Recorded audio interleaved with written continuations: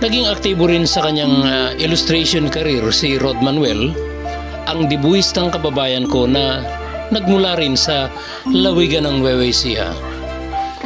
Noong 1970 siya pumalaot sa pagdidibuho at uh, bagamat nabigyan siya ng comics script para idibuho na nagmula sa comics writer, novelist at editor na si Mario S. Cabling na ayon sa kanya ay kakilala ng kanyang uncle ang kilalang writer, novelist and publisher na si Mars Ravelo ang unang nagbigay sa kanya ng break na makapagdibuho sa sarili nitong publication, ang RAR Publishing.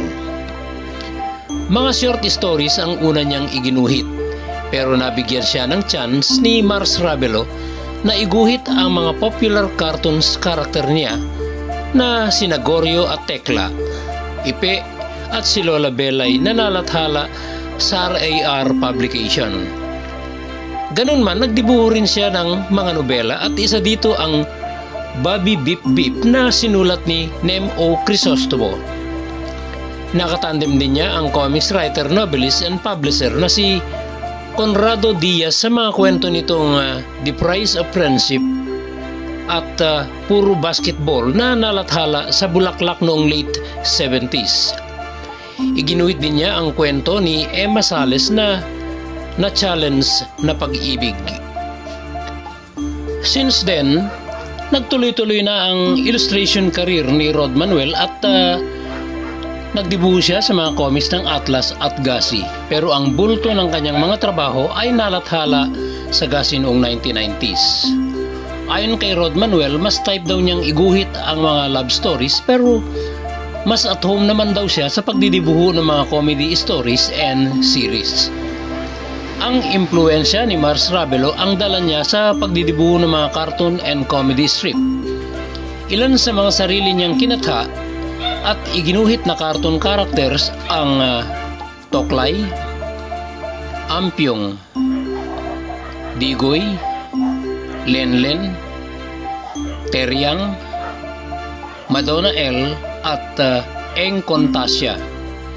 Ginawa rin niya ang mga comic strip na Universal Laugh, Spot Joke at marami pang iba na pawang sa mga comics ng Gasi at affiliated publication na Limbag.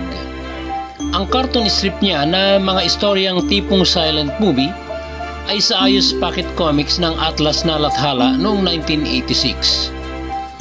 Dahil dito, naging patok din ang tambalan nila ni Danny Ocampo sa mga comedy series na sinulat nito. Ilan dito ang uh, kung tawagin siya ay Mael, mga kwentong rated PG, kwentong sa totoo lang, politika, palakasan at iba pwe, iknok, itok, budang, Binday at marami pang iba. Si Primo Yalong ay nakatandem niya sa comedy series nitong The Adventures of Nitoy at si Pat B. Reyes ay sa comedy series nitong Alaay Buhay. Ganun man, bagamat at home si Rod Manuel sa mga comedy stories and series na iginuguhit niya, hindi naman ito humangga lang dito. Marami rin siyang mga naiguhit na nobelang drama at love story maging ang mga action novels ay idinibuho rin niya. Sa mga fantasy at horror stories ko naman siya madalas makatandem.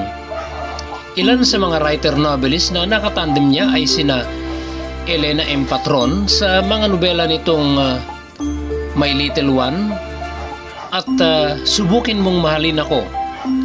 Ang comics illustrator namang si Rene De Los Santos ay nakatandem niya sa maaksyong nobela nito na Padre Verdugo. At uh, bughaw man ang dugo mo, paaagusin ko. Si Almel de Guzman ay nakatandem niya sa nobela nitong uh, Batik sa Lipunan at uh, mga seryeng B-Boy, Scholar ng Bayan at uh, Children's Golden Tales. Iginuhit din niya ang uh, Victorio, the greatest athlete at kwento nitong uh, Sumpa ko'y iibigin ka. Si Nicky Astronomo ay nakatandem niya sa mga serye nitong Campus Lava Pair at Wide World of Sports. Si Vic Poblete ay nakatandem niya sa Angeliza, si Flor Apable Olaso sa seryeng Ang Tinig sa Pagitan ng Dilim at Liwanag. Si Mike Tan ay nakatandem niya sa nobela nitong Ang Mundo sa Paningin ni Adan. Si Robert J. Nuevas ay Ang Puso Ko'y Hindi Akin. Si Andy Beltran ay nakatandem niya sa Walang Bala na Masasayang. Si Hermie Katig ay sa Bowling Git. Si Armand Lokyas ay sa Pahiram ng Kasalanan. Si Emmanuel Martinez ay sa full-length novel nitong Nagbabagang Puso, Nagyayelong Katawan. Si Divino Pagkatipunan ay sa serye nitong Dear Kuya Edong. Si Marily Vera Cruz ay sa serye nitong Heart's Diary at iba pa. Nakatandem din niya ang mga editor ng Gasi na sina Gloria C. Garcia sa kwento nitong Alaala ng Dalawang Pusong Kahoy, si Vic Soriano sa Magkapalad, si Imelda Cruz sa kwento nitong Solong Bapa, si Ding Balyarta ay sa kwento nitong Hindi Hunyo ang Pag-ibig. Si Georgina de Guzman ay nakatandem niya sa kwento nitong Isang Gabi ng Kahibangan. Si Isagani Mateo ay sa kwento nitong Smart Girl, Shy Guy. Si Ray Mamangon ay nakatandem niya sa kwento nitong Pakikipaglaban. Si Ronald Senyarosa ay sa kwento nitong Aplikante. Si Bobby Villagracia sa kwento nitong Ayaw ng Umibig at marami pang iba. Marami rin akong mga kwentong sinulat na katandem si Rod Manuel at nalathala sa Love Affair, Love Life Comics, Expat Files, Dragnet Comics, Fantasia, Halimaw at maging sa Sonic Triangle Publication na Encantada at mga kwento ni Lola Comics. Ilan sa mga full-length novels ko na iginuhit niya ay ang dalawang mukha ng pagmamahal, Mangarap Muna, pambayad utang. The Caregiver Tutok Kalawit. At sa mga kwento kung saan sinusukat ang kaligayahan, halik ng tagumpay, kalikasan, sa apoy dinadalisay, markado, hubarin mo ang luksa, payong kaibigan at marami pang iba.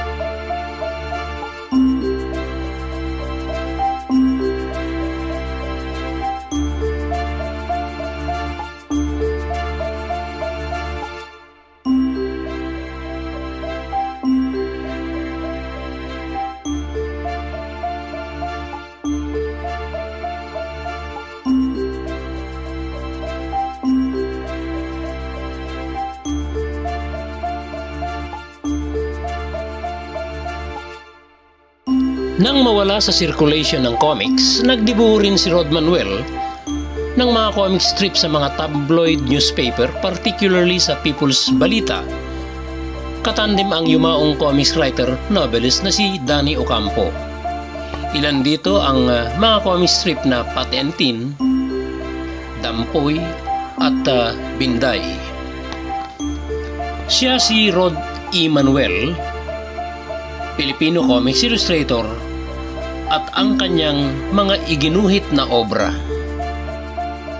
Sa mga interesado sa content ng mga info video na ibinabahagi ko dito tungkol sa comics at saka sa mga personalidad na naging bahagi ng comics noon, huwag lamang po sana ninyong kalilimutang i-click na rin ang subscribe at bell button na nasa ibaba upang sa ganoon lagi kayong mauna sa mga update na ginagawa ko sa aming Comics Page TV. Thank you very much and God bless you all.